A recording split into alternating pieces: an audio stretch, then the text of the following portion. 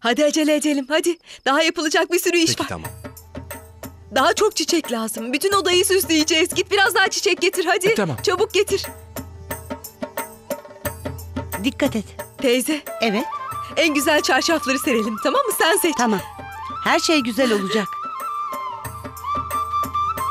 Anne. Ne yapıyorsun sen? Dinlenmen gerek. Kalk. Çalışacak bir sürü insan var evde. Evet biliyorum. Ama gelinim eve gelecek. Hem de uzun bir bekleyişten sonra. Ne yani? Oturup bütün işi başkalarına mı bırakayım? Öyle bir şey yapamam. Anne. Annen kabul etmez oğlum. Ben de ikna etmeye çalıştım ama, Ama o iyi değil teyze görmüyor musun? hastalandıysa ne olmuş yani? Bütün acılarını unuttu. Artık mutlu. Şimdi turp gibi oldu. Oğlum, hiçbir anne gelinine hazırlık yaparken yorulmaz zaten. Hadi daha hızlı olun hadi. Anne. Bugün çok mu mutlu oldun? Evet. Olmasa mıydım? Biraz beni dinler misin? Söyle. İşini bir an önce bitir ve zamanında uyu. Peki tamam. Ama bak sen de beni dinle. Bu akşam misafir odasında yatacaksın. Peki neden orada? Benim odam var. Yapma. Benim gelinim gelecek. Yarın onunla bu odada kalmanı istiyorum oğlum. Tamam. Şuna bak. Karısının konusu geçince kulakları kıpkırmızı oluyor.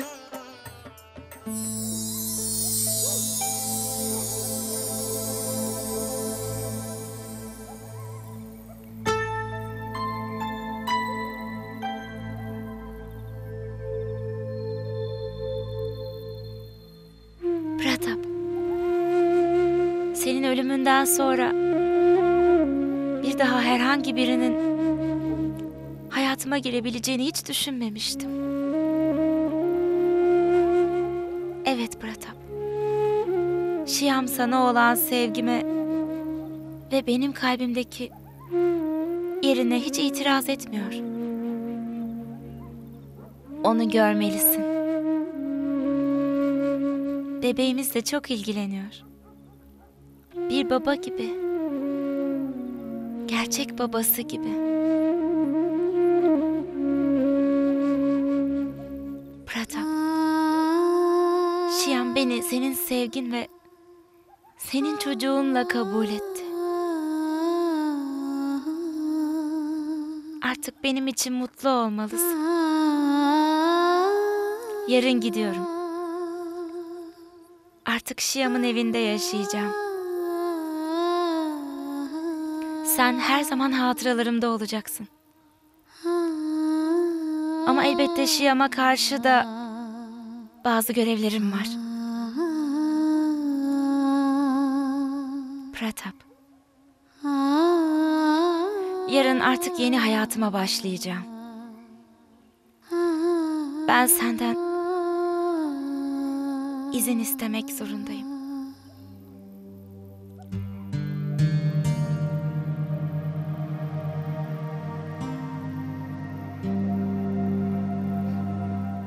Seninle birlikte geçirdiğimiz zamanlar sevgimiz, hasretimiz hiç eskimeyecek. Hep yaşayacak.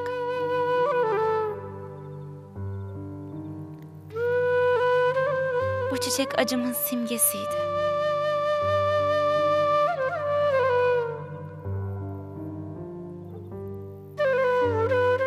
Birbirimize çok güvenirdik.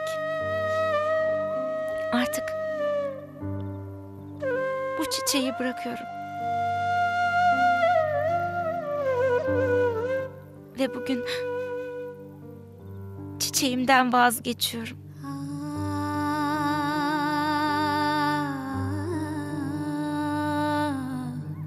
Yeni hayatımdaki görevimi hiçbir engel olmadan yapabilmek için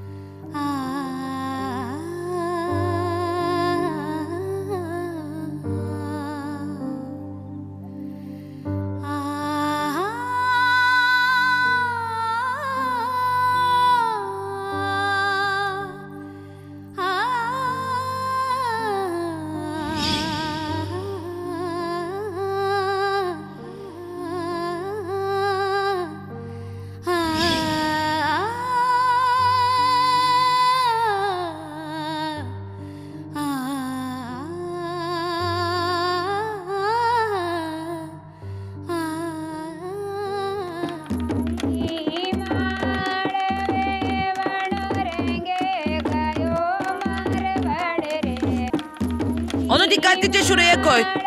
Çelenk hazırlayacağız. Çok yavaşsınız. Ne zaman bitecek bunlar? Biraz hızlı çalışsanıza. Daha perdeler asılacak. Vaktimiz kalmadı. Bugün gülmek yasak. Makan şu ışığa bakar mısın? Düzgün yanmıyor. Hemen tamir edilmesi gerekiyor. Hadi. Yolculuğum çok iyi geçti. Tanrı dualarımı duydu işte. Dönünce bu güzel haberi aldım. Ve vakit kaybetmeden Sukna'yı görmeye geldim. Asla geç kalamazdım. Sukna'nın mutlu gününü kaçıramazdım. Sumitra, günün birinde Sukna'nın mutluluğu yakalayacağını biliyordum. Ve aynen öyle oldu. Çok mutluyum. O kadar insanın duasını alan birinin başına her zaman iyi şeyler gelir. Haksız mıyım Sugna? Yemek ve çadırla ilgili her şeyi hallettim. Herkesi davet ettin mi? Evet, sadece senin gitmen gereken yerlere gitmedim anne. Davetiye bastırmaya vaktimiz kalmadığını herkese açıkladım. Sugna'nın mutluluğunu görmek için mutlaka gelecekler. Çok iyi yapmışsın. Ben de gitmeliyim ama evden bir türlü çıkamıyorum ki. Sen geldiğine göre artık gidebilirim. Her şey çok hızlı oluyor ama çok insan gelirse daha iyi olur. Bayron burada yok. Bütün sorumluluk ikimizde olacak. Bu törene gelemediği için çok üzüldü zaten. Biz bir hata yaparsak daha da çok üzülür. O yüzden dikkat edelim. Tamam, sen hiç merak etme anne. Her şey güzel olacak. Sen git hadi, git. Peki. A- a- Baksana Sumitra. Evet anne. Ben komşuları davet etmeye gidiyorum. Burayla sen ilgilenirsin ha. Peki. Ha Jagdish. Ne, neden oradan bakıp duruyorsun? Aşağı insene oğlum. Ben de geldiğimden beri Cagu nerede diye düşünüyordum. Bu zamana kadar neredeydin? Aşağı gelsene. Gel hadi. Gel.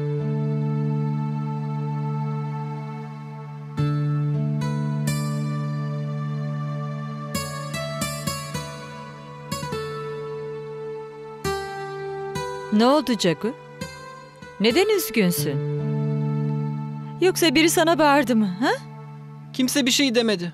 Çalışmamı isteyen de olmadı. Neyse, boş ver. Başka işlerim var zaten. Ama oğlum çok kızgın görünüyorsun. Hı? Gelsene Bavri. Gelmen iyi oldu Cago. Ellerime kına sürer misin? Anandi burada yok. Onun yerine sen yapar mısın?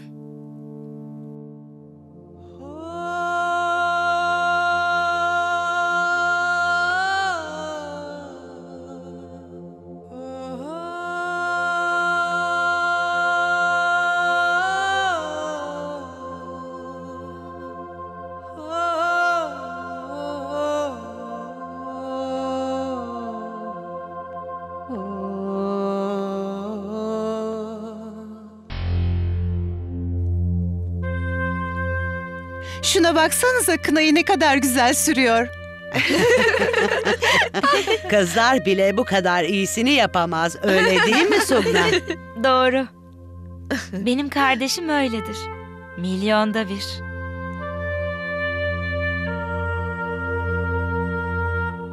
Sugna abla? Ee, Şiyam evine gitti abla. Sen de gidecektin. Babam eve ne zaman dönecek bilmiyorum ama... Burada yalnız kalacağımı biliyorum abla.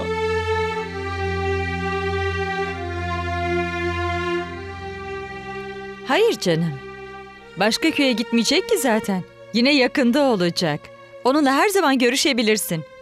Ama Cagu oğlum, neden yalnız kalacağını söyledin? Anandi var.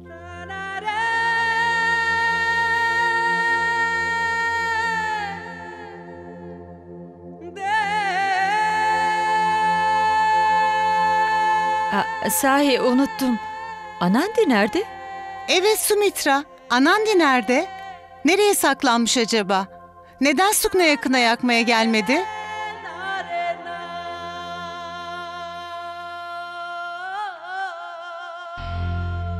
O ailesinin evine gitti.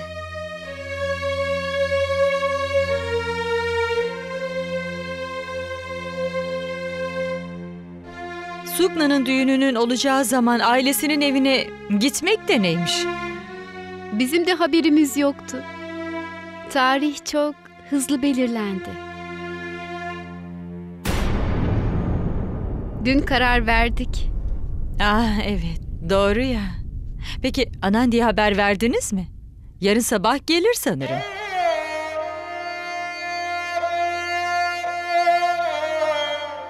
İki üç kez telefon ettik. Ama bir türlü ulaşamadık. Neyse artık. Benim başka işlerim var. Gidiyorum. Şuna baksana. Anandi'nin adını duyunca canı sıkıldı. Neden sıkıldığını şimdi anladım. Anandi'yi çok özledi. Sumitra sen de söylesene. Sugna yarın gidecek. Anandi burada yok. Bu hiç hoş değil. Bence burada olmalıydı.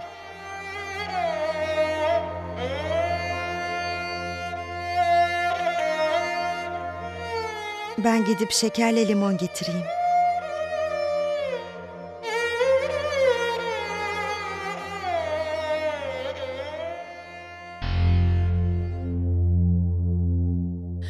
Güzel Sumitra. Onca yıl sonra aklını kullanman gerçekten çok iyi oldu.